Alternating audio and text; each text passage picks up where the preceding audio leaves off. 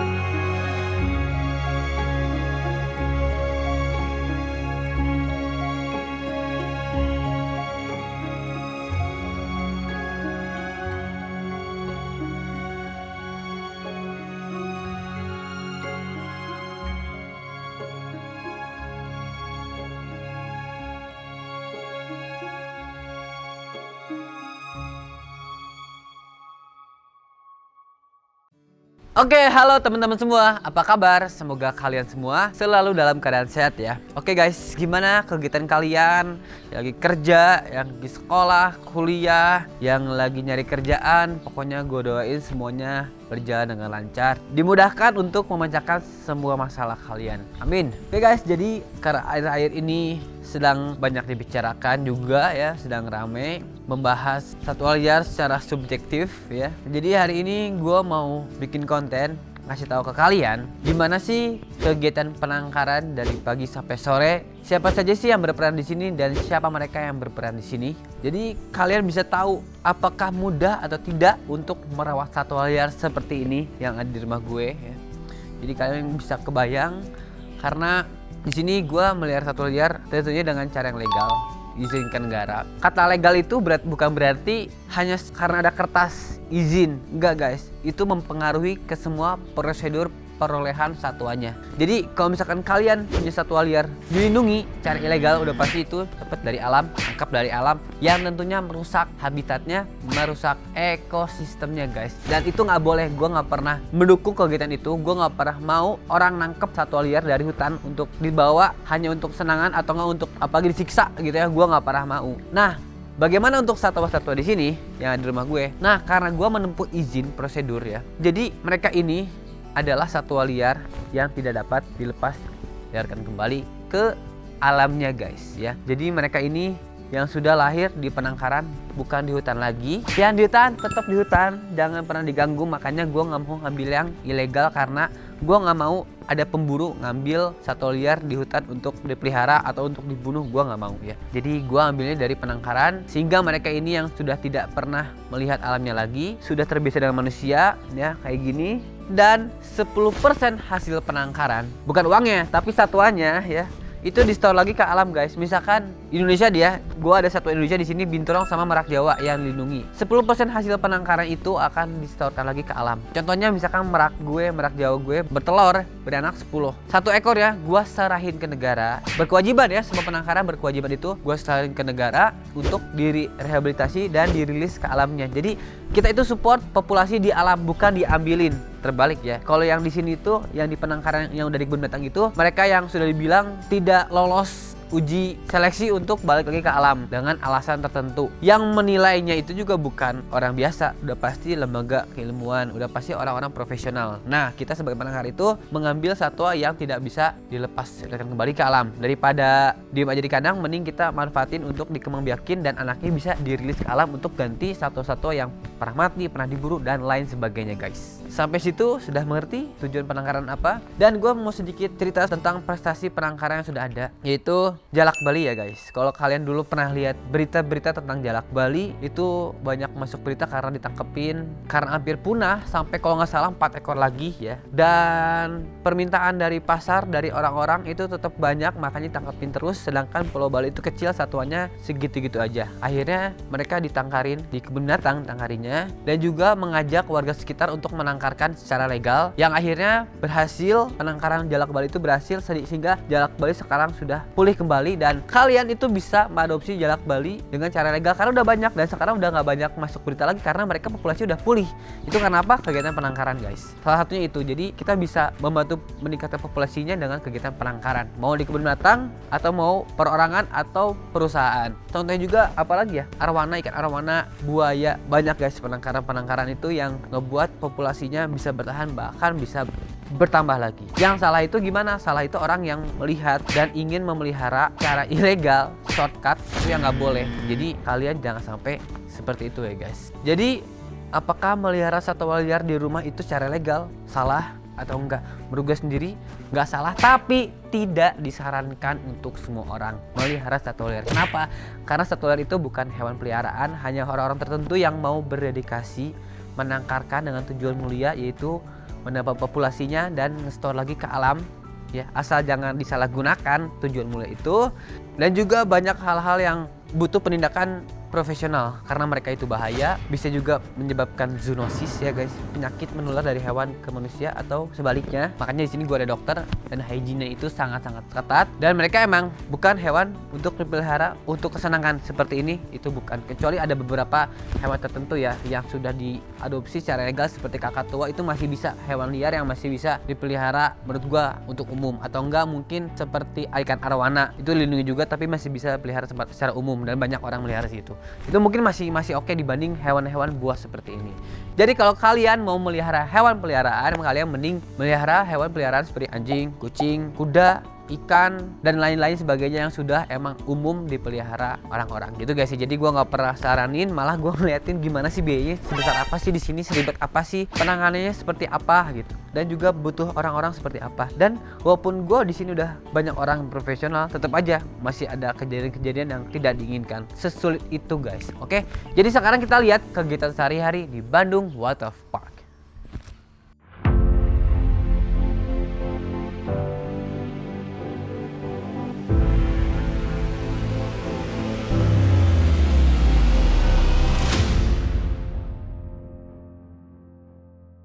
Oke okay guys, gue kasih lihat kegiatan di Bandung Water Park dari pagi-pagi nih, dari awal banget, oke? Okay? Jadi di pagi hari itu kiper datang setengah tujuh kurang lebih jam setengah tujuh. Setelah itu mereka siap-siap dan setelah itu mereka langsung ngecek satwa-satwa pegangan mereka guys.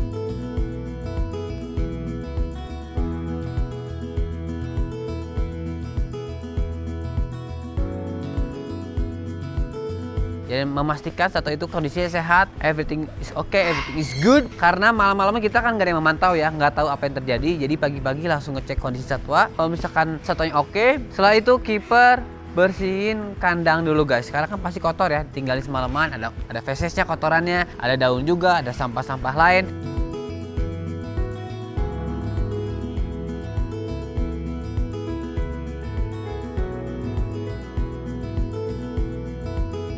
Jadi dibersihin dulu seperti ini.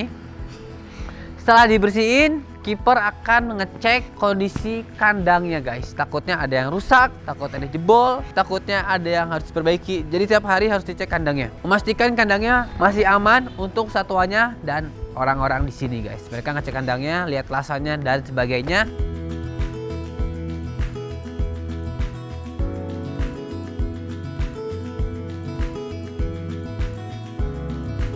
Setelah itu kiper akan ke atas ke animal food preparation untuk mengambil makanan yang sudah disiapin oleh orang dapur satuannya guys. Itu yang sudah biasa meracik makanan dan mempersiapkan makanan untuk satwa-satwa liar guys ya.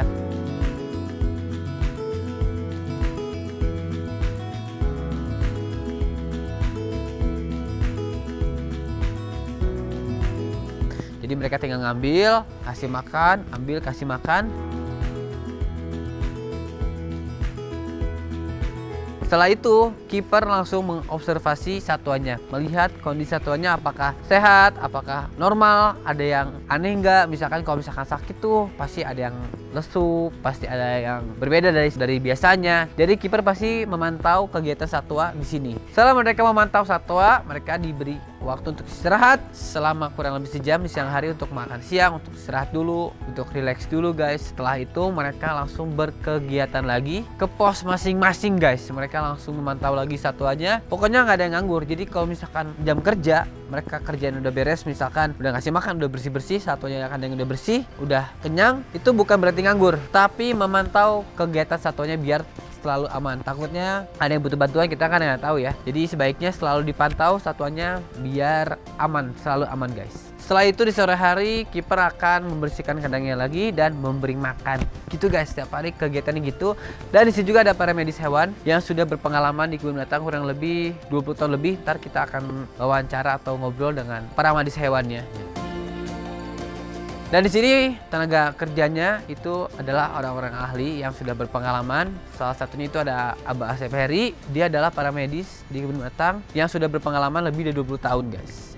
Dan juga di sini ada kipernya, ada head kipernya itu Pak Alo atau Pak Asep yang sudah berpengalaman di kebun binatang juga 20 tahun lebih. Jadi mereka ini adalah orang-orang yang pernah kerja di kebun binatang guys ya. Jadi udah biasa merawat satwa liar. Dan mereka ketika kerja di sini mereka udah tahu harus ngapain tinggal menyesuaikan dengan peraturan di sini guys.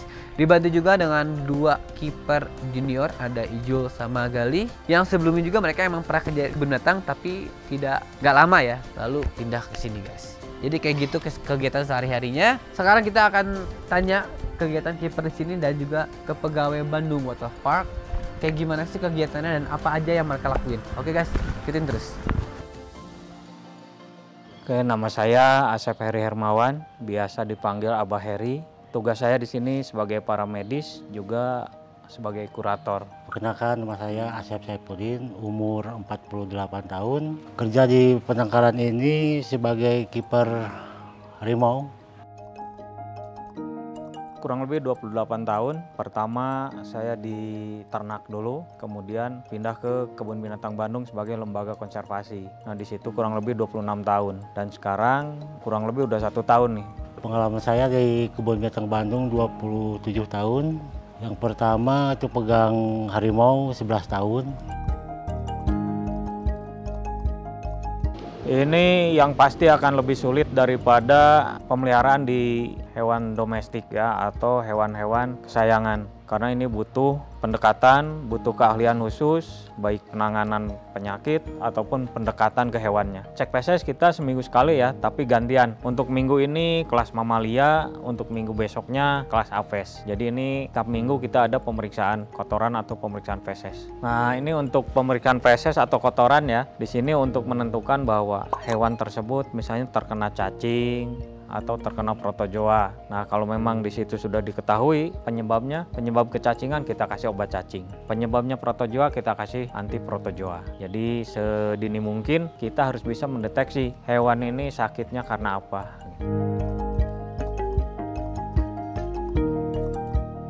Bedanya sedikit ya, bedanya tipis karena ini sama-sama di bidang konservasi.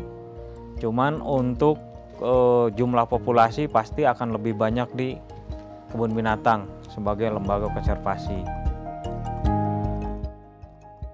Tantangan sih kita harus emang harus bisa harus bisa dekat dengan satwa liar itu. Ya risikonya mungkin kita tahu lah risikonya. untuk menangani satwa liar cukup sulit ya untuk menanganinya butuh keahlian khusus tidak semua orang bisa menangani satwa liar sejenak-jenaknya yang namanya satwa liar, satwa buas, tapi mereka tetap memiliki naluri alamnya.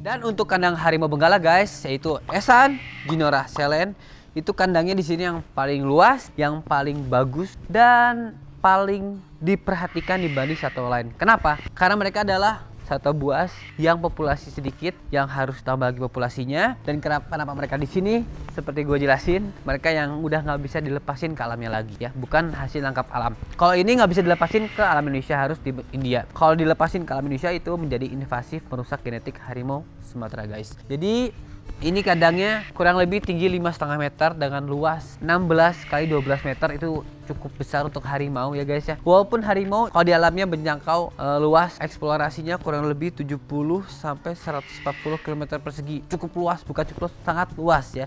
Tapi kalau misalkan di kandang gini kita ada standar minimal untuk kandang dan ini sudah di atas standar minimal kandang guys ya. Dan kandangnya dibikin sedemikian rupa untuk kenyamanan harimaunya guys ya. Dan kenapa nanya? Kenapa nggak ada pohon dalam kandang? Takutnya mereka manjat keluar kandang. Jadi kita bikin pohonnya itu di luar kandangnya untuk mereka berteduh. Dan di sini nggak lupa juga untuk memenuhi lima kesejahteraan satwa guys. Atau biasa kita sebut the five freedom of animal welfare. Yaitu apa aja? Yang pertama bebas dari rasa lapar dan haus yang kedua bebas dari rasa takut dan stres yang ketiga, bebas mengekspresikan sifat liarnya guys. Makanya Sanjinora gak gue jinakin sepenuhnya karena biar mereka bisa merasakan sifat liarnya yaitu gigit, yaitu bermain, mencakar, membunuh. Itu adalah sifat liarnya mereka ya. Jadi tetap harimau tetaplah harimau ya. Udah gitu, yang keempatnya bebas dari rasa nggak nyaman guys. Dan yang kelima itu bebas dari rasa sakit luka atau penyakit guys. Jadi itu 5 animal welfare yang harus dipenuhi. Walaupun sulit ya guys ya. Namanya binatang pasti sewaktu-waktu pernah terluka yang namanya binatang sewaktu-waktu pasti kena penyakit juga ya guys seperti di alamnya. Cuman itu kita harus tempuh dengan sebaik mungkin. Itu guys terus diingat. Dan buat yang kepo-kepo nih berapa sih biaya pemeliharaan mereka dalam sebulan? Ini gue bukan dalam rangka pamer atau apa cuman gue ngasih gambaran betapa mahalnya sulitnya memelihara satwa liar guys. Jadi sebulan di sini kurang lebih menghabiskan sekarang udah 60 sampai 65 juta rupiah per bulan demi merawat mereka biar tetap sejahtera, biar tetap bisa berkembang biak, bisa menambah populasinya. Jadi main ya guys, daripada kalian melihara satwa liar, mending kalian bisa datang ke binatang untuk menikmatinya atau bisa nonton YouTube gue juga guys secara digital ya. Bisa menikmati kegiatan satwa liar di Bandung Wildlife Park guys. Dan guys dalam rangka untuk memenuhi five freedom of animal welfare tadi untuk mengurangi bahkan memberantas namanya virus, bakteri, penyakit, kita selalu melakukan sanitasi secara rutin seperti ini guys. Ini Ju lagi nyemprot disinfektan ke kandang. Jadi seluruh kandang itu selalu dikasih disinfektan dengan berkala ya biar nggak ada virus biar nggak ada penyakit. Oke? Ini juga perlu banget diperhatikan hygiene atau enggak kebersihan kandang karena ketika kandangnya nggak bersih kotor satwa otomatis akan menderita penyakit atau enggak nggak nyaman yang membuat tidak memenuhi five freedom of animal welfare. Nah guys, dalam rangka untuk menjaga kesehatan mental dan fisik harimau ini karena mereka itu aktif banget biar nggak bosen kita suka kasih enrichment atau nggak namanya pengayaan di kandang. Kita kasih biasanya mainan untuk dia tetap aktif dan biar nggak bosan di kandang. Itu juga dalam rangka memenuhi five freedom of animal welfare di poin yang bebas mengekspresikan sifat alaminya atau sifat liarnya. Sekarang kita mau ngasih buah kelapa yang isinya daging dan digelontorin. Nah, dia itu jadi aktif bermain, nyium daging dalamnya dan bagi dia itu adalah sebuah simulasi memburu atau enggak bisa mengekspresikan gigitannya, bisa mengeluarkan hasrat untuk menggigit dan mencakar mangsa melewati kelapa. Karena kita nggak boleh ngasih makan hidup-hidup ya kalau di penangkaran. Jadi kita bisanya ngasih makannya udah mati. Nah ini sekarang ada Jindora sama Eshan. Di sini udah ada dagingnya. Jindora hari ini isinya daging ayam ya guys. Dan ini kenapa kasih kelapa karena ini menurut gua mirip bola linding dan juga organik aman untuk harimau. Tidak beracun ya guys. Kita kasih sekarang ya. Cukup siapa tuh? Dinora tuh. Tuh langsung main guys. Esan Esan lagi di atas guys. Kita kasih gelindingin lagi. Nah. Tuh guys. Langsung main ya langsung bermain. Itu bukan takut ya tapi tapi emang mereka sukanya main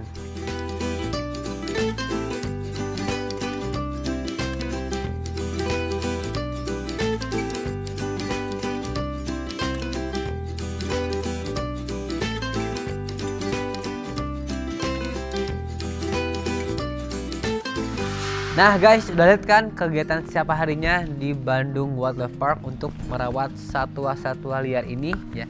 Jadi kalian udah lihat semua kayak gimana kegiatannya. Jadi ada bayangan ya bagaimana untuk uh, merawat satwa liar itu seribet apa, semahal apa, dan orang-orangnya harus seprofesional apa. Oke, jadi sekali lagi gue nggak pernah saranin kalian untuk melihara satwa liar. Kalau kalian suka binatang, pelihara hewan domestik aja hewan peliharaan. Atau kalau kalian pengen lihat satwa liar, bisa datang ke kebun binatang atau nonton konten gue secara gratis guys dan buat temen-temen nih yang masih suka nanya apakah satwa di kontenin itu boleh atau enggak baik atau enggak tergantung guys ya. Kalau misalkan kontennya yang berupa aksi menyiksa atau enggak seperti sirkus memaksa satwa tersebut untuk melakukan sesuatu menurut gue itu nggak baik nggak bagus.